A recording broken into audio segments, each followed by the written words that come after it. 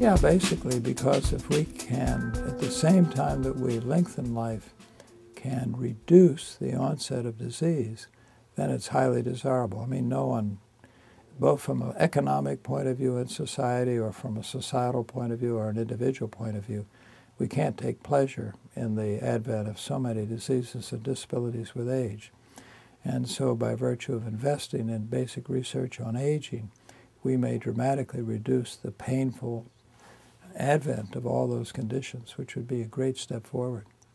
Well, older people are often fantastic. I was just reading about Roget's thesaurus, which is the guy that he lived to something like 90. And, uh, you know, he tons and tons of writers, whether for the newspapers or whatever, utilize the thesaurus as a means of. So I'm saying is that I think there are many benefits to older people who continue to contribute, who are productive, and many of them are great composers like Elliott Carter at 99, still composing music. So there are many advantages to age for, for everybody, not just for themselves.